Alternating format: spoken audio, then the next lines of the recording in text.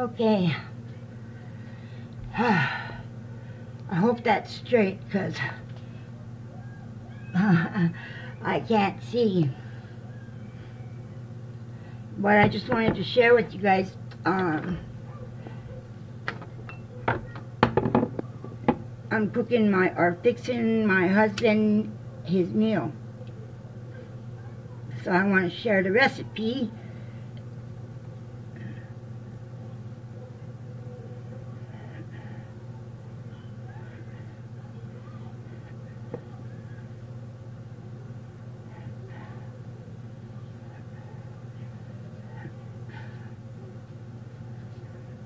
Jim, Oh. come here so I can um, smudge you. Please. I should have brought my feather, but that's okay. Can you do it? Okay.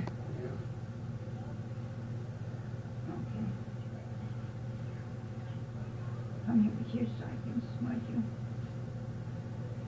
Okay, smudge yourself. You know how. Hold his head. Okay, there we go. Turn around. We'll get them once they're trying to sneak up on you. okay.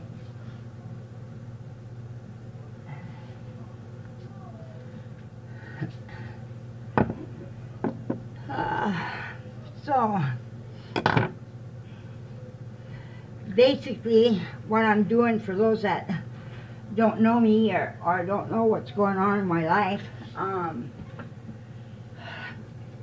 my my husband is battling throat cancer, and the radiation has damaged some muscles in his um, throat, so he can't swallow food, and he's been choking on it and aspirating it. So um, they installed a, a, a feeding tube in his stomach. So I'm the one that um, feeds him, basically. I decide and I cook and I blend and I, but I do everything I can to try to put some weight on him. And now this one here I'm going to do, I'm going to put some bran in there, some raisins, because um, I need, I, I have him, I want him to do a doo-doo. okay, so, um, first thing I do is wash my hands really good with hot water.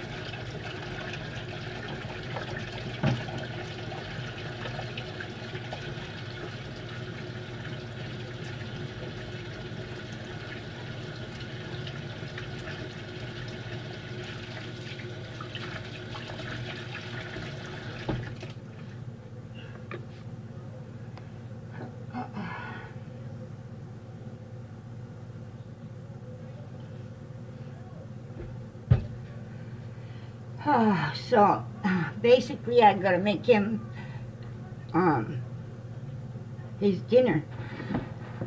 So I'm gonna um, use the blender and the Cuisinart because I'm gonna use put bran.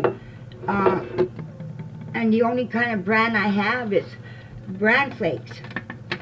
And I put raisins in it. so these have to be chopped up and if I chop them up with the um, blender, there'll be some big and some small. I have to, uh, uh, I have to, uh, okay.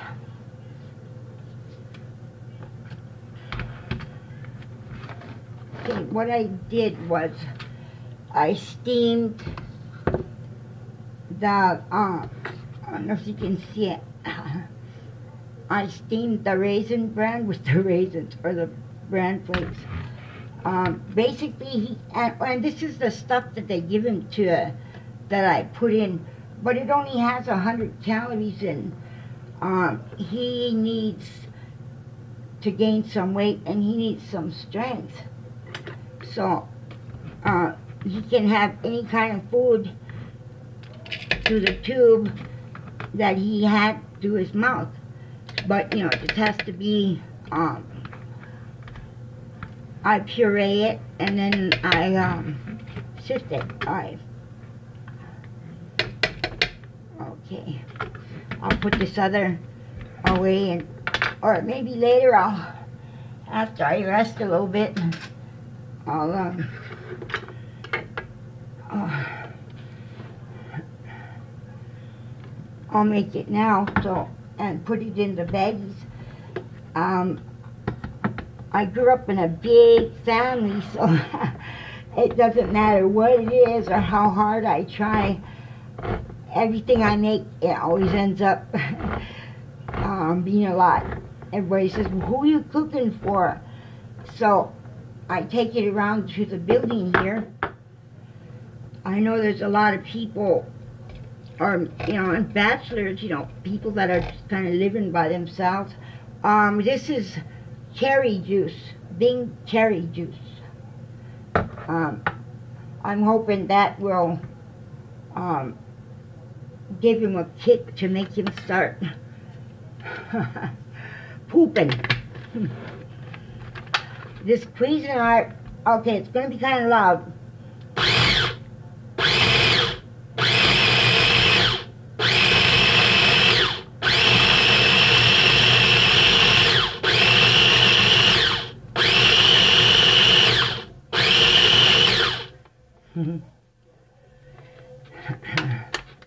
This little Cuisinart is the best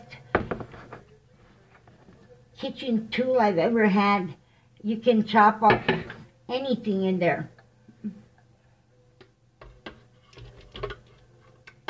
But it doesn't chop it as fine as the um the blender does.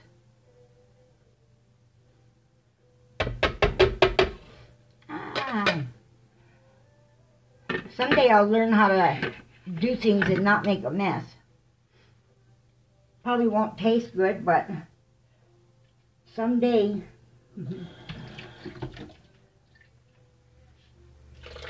Basically, I grew up really poor. Uh, and, you know, after my mom had to leave because my dad was had beaten her to death every day, then it was me and I was taking care of three younger brothers. And we had a stepmother, and they had but first we had this big, um, big routine of foster homes. Oh, God. Some are maybe good, but not the ones that we got. okay, this is going to be a little bit loud.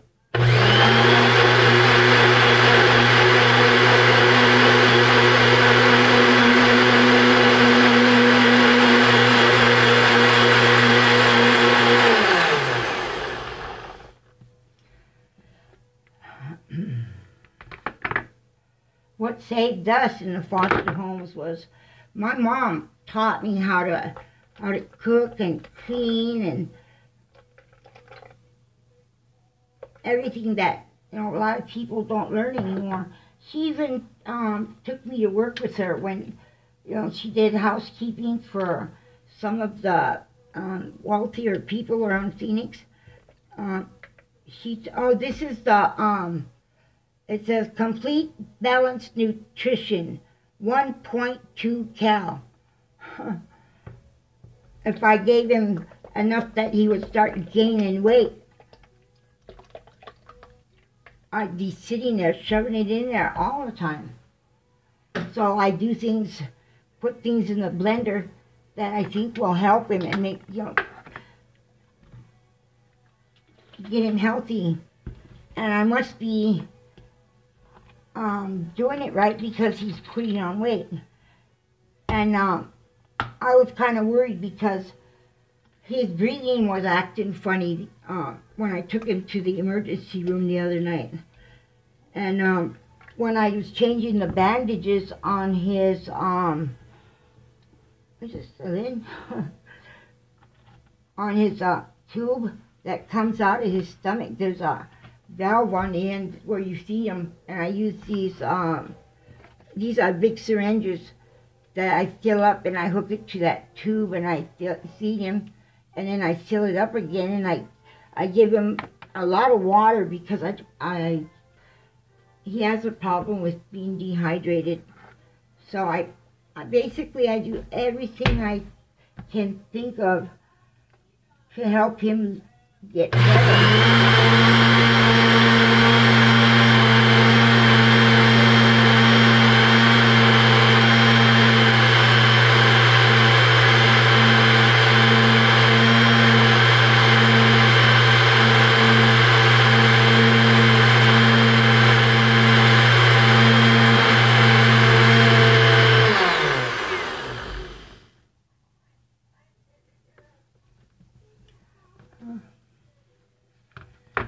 Nope, it needs water. Um, I boil the water that I put in the tube or given because um, they said it's okay to use tap water. But this old building is from the 60s and it's got the same plumbing. And there's probably all kinds of moss and monsters and everything growing there. So, you know, I, even though they say I don't need to, I boil it. I don't sterilize everything anymore because I, everybody kept telling me don't sterilize everything. But I do do everything I can to make sure that it's as clean as possible. With, and I do sterilize it if I want to. Um, if anybody knows me, they know um, if I say something, there's no use arguing with me because I'm going to win. I'm not going to quit until you hear me or whatever because I know what I'm talking about. Um, people try to treat me like I'm a, a hang around the fort kind of Indian, sat and waited for their check. You know, everybody puts Indians off like that, natives.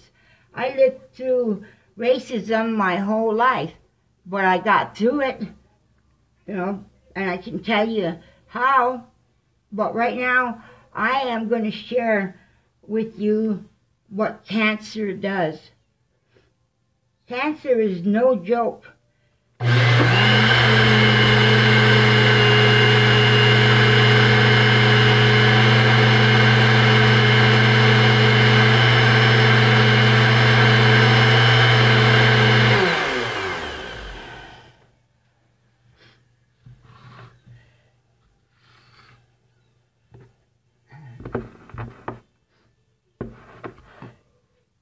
Jim loves to eat.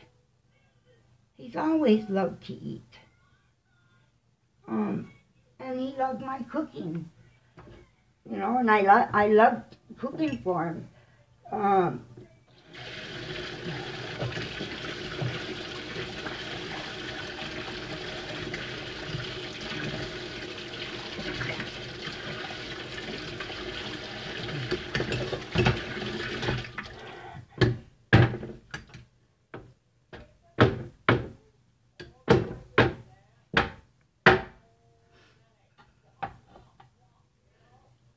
but cancer took his ability to taste and eat and enjoy food. It's gone now.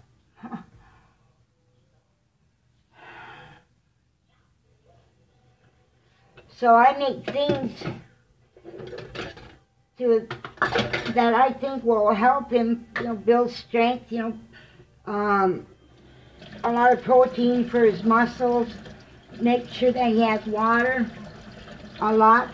Uh, I do everything I can to help him fight. You know, um, because of his age, he's 77.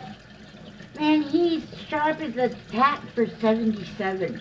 And he's healthy. But the thing that hurt him was smoking. Smoking for 50 years.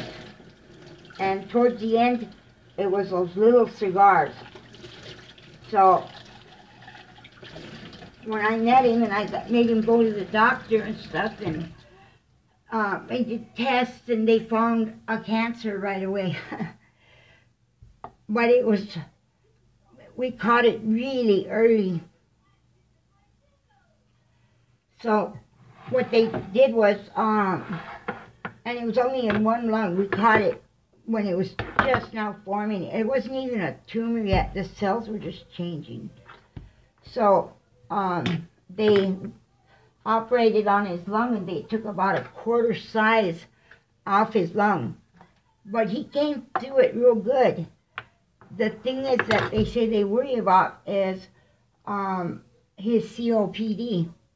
You know, they can't operate uh, and take any cancer out of his lungs because um, it might not, they might not be able to fill it. You know, to get it to fill back up again. That would be, but um, he's had it two more times since then. Uh, basically the same kind of cancer, and all they did was give him four, four radiation treatments. That's it. And then, um, then they scan every three months and watch him, and then it came back again. So they get, um, gave him four radiation treatments. And he was in remission this time for, how long, Jim? How long were you in remission before this cancer? Oh, uh, About three years, huh? yeah. Yeah, he was in remission for about three years, but they they scanned all the time. So you know they found it, but this one they, um, the radiologist they found it, but it, it was in a different area and it wasn't um, shaped and everything like the other one. So they said um, that they don't think it's cancer. Uh, so they're just gonna uh, let it go and watch it. So three months later, they do the scan, and that cancer that was, oh shoot, I overfilled it. uh, when they say that happens, that there's somebody, the spirit that was hungry and wanted some, so it's okay. Uh, but anyway, the scan showed something, but they didn't tell, say it. They just said they wanted a conference. And at the time of that conference, I was here flat on my back with vertigo. I don't know where and how it came from, but I have an idea. Um, I was hit on the side of the head uh, by a cop with one of those big, um, those great big flashlights they carry. they all beat the hell out of me, but I'm not going to go into that right now. it was because they were beating up my brother, and I slipped out the handcuffs and I hit the cop that was beating that. He grabbed the back of my brother's head. They were arresting him, and they grabbed the back, and he was handcuffed leaning over the hood, and um, I don't know if he said something or what, but he looked up at the at the officer, and he just grabbed the back of my brother's head and just slammed his face into that car hood. Oh hell no, not my little brother. So I slipped out of the handcuffs they had me in, and I come right up. Boy, I got that cop that hit him right under the jaw, man. He wasn't expecting it. uh, so I got him good. I knocked him on his ass. That was the best feeling I ever had. You know, because this guy was hurting my little brother. and that's the way these cops are in Billings, Montana. Um, how do they expect you to have respect and um, all this stuff with these cops when they're just like Gestapo. I mean, there's a lot of things in Billings, Montana, man. That was redneck city. As soon as, well, what happened is we were at a party and it was out of city limits of Billings. And my brother um, was just separated from his wife. They had two daughters. And people that were around told him that um, her new boyfriend was um was hitting the little one, the littlest daughter, too hard because um she wouldn't she wouldn't listen. So he showed up at that party. You know, it was a big party. You know how natives are. Um. Hmm. Oh, I gotta grab a bag. But um, here comes that guy, and my brother called him up. Uh, we don't have any more sa- little sandwich bags, Jim. Uh, Where's those little sandwich bags? Oh, no, over here. Oh, that's okay. I'll I'll I'll put I'll put it away later. What I do is I take this extra and I put a serving in these um, Ziploc bags and I freeze them. And when he's going to eat them, be, uh, a few hours before I do, I set them in, in warm water and let them thaw like that because you can't get it you can't get it hot and you can't get it cold. So, you know, everything has to be. And then what I do is I pull up two syringes of water. And I connect it to the tube and I put it in that, uh, to flush the tube and then I pull in the food. And I just keep putting that in until the food's gone or if it's hard to push, you know, then it, I know he's getting full, then I stop. And I give him two more big tubes of water. And um, sometimes, you know, if it, if he's okay with it, I'll give him even more water. You know, I want him hydrated. I want, I want him to live. So I do everything I can. Man, cancer is a uh, MH. Uh, no, wait. M, F. See, that's how bad I am. You know, in some of the um, things and in some of the posts, I can say some uh, things that would make a drunken sailor blush. You know, but I was an iron worker. You know, I worked, I did, I walked high iron. I was a structural iron worker. And I was a certified welder in the union in Minneapolis. You know, but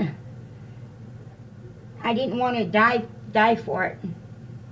And then they started cutting me down and they took most of my money in taxes and you know, I was a structural, I was a welder. A lot of times I had to weld um, on the perimeter, you know, welding a um, post for the safety line that goes around. And you're walking on nothing. You're walking you know, there's a lot of times I put my life on the line. You know, but I did my job. I wasn't no to token iron worker. I was an iron worker and I could do my job. But um, I started having panic attacks. And then I fell. But I didn't fault my safety line because I tied off.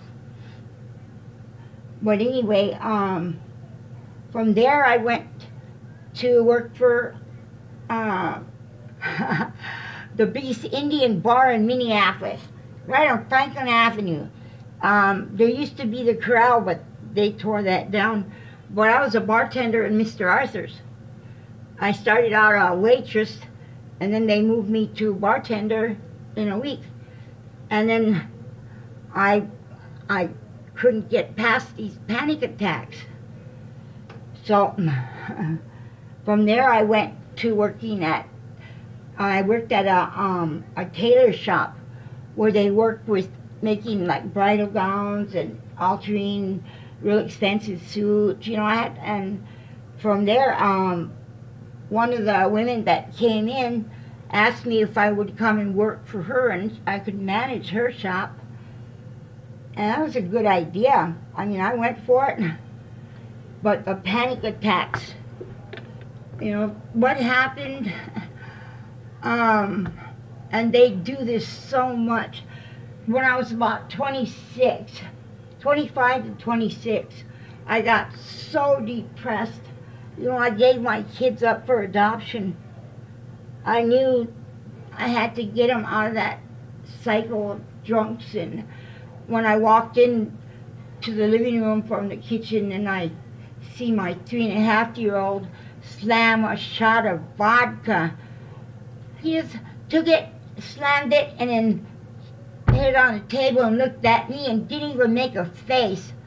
And then he held the glass up and he said, Jink, Jink, Ma, Jink. Oh, God, I went nuts. I chased him out and I rushed him to the hospital and um, the next day I couldn't get them away. My mom, my uncles, everybody was always there and they were always drunk. And one of my uncles I found out is the one that started giving vodka to my son. And then I went to clean up and I found behind the couch, behind all these chairs, I found empty cans of beer because my son was stealing them. I said, oh no, oh hell no. So I found a home and I gave him, I gave him to a better life. The mother was a principal of a high school and the dad was an established artist. So I gave them to her but they haven't forgiven me.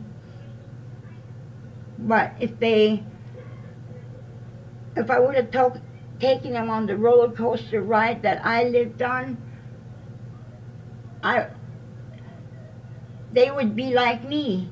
Their lives were mirroring mine. Sometimes you have to love someone more than you love yourself. How can I teach them to be successful? How can I teach them to do anything when I didn't know? All I knew was alcoholics, fighting off drunk men that are trying to molest me, fighting off family members that are trying to molest me, hiding under beds and closets and I mean, I was a little bony thing. I used to fold myself up, and I got, I hid it in one of those white whisk, wicker laundry baskets. I mean, just to escape getting molested. So anyway, I ended up, they sent me to my mom in Montana. But that was a, my grandpa was a minister and I was a, um, his prodigal granddaughter no matter what I did. So I got married to get away from him and that was even worse, you know, but the best man I ever found is right here and I better stop talking and, and go and feed him. But, you know, I just wanted to let you know the human side of cancer. I don't, I'm losing weight because I don't want to cook and not him, him not be able to eat it. And it's good that I'm losing weight, but I'm moving round the clock because this is my husband. I don't care what anybody says you know, I give him the best care that I can and do everything I can to keep him alive because I need him. He's my life. I never had a man, I never had anybody my whole life that was loyal to me, stuck up for me, took me no matter what. I mean, Jim's been that for me. I had to have a lot of operations. I was um, held hostage by a, a gangster, a real one, uh, Rolling 20s Crip in Long Beach. And the beatings and stuff that they did to me, he tortured me. I, when I, he, I escaped, I was on the street, but I was bleeding really heavily from the injuries, and I just wanted to die. and finally, I, I was close to it, and the people that were on the street, they called the police on me so they took me in. And here I woke up. I said, oh no, why? And then I, they were letting me go and I had no place to go. Nobody cared. I mean, why didn't I, why didn't they let me die? So I met Jim, you know, through a friend earlier, so I, I thought, well, I'm gonna visit Jim, and then I'll go down and see if I can get blankets and stuff to sleep outside. And then when I came in and I talked to Jim. He told me to stay here with him. I told him I don't have anything, and he's that's okay. And he gave me everything.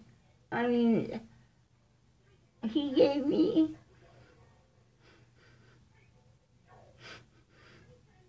He gave me unconditional love.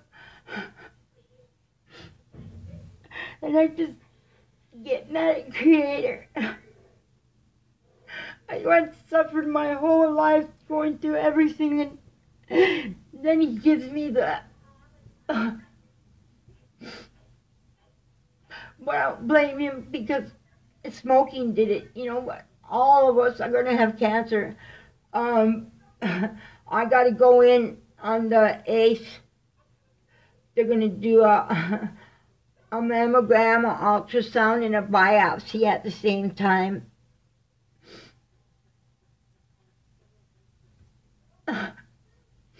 But I don't care. I mean, just the cancer, the doctor said that the cancer is going to take him, so they're doing, all they're doing right now is buying him time. So I do everything I can to get him more time to be with me.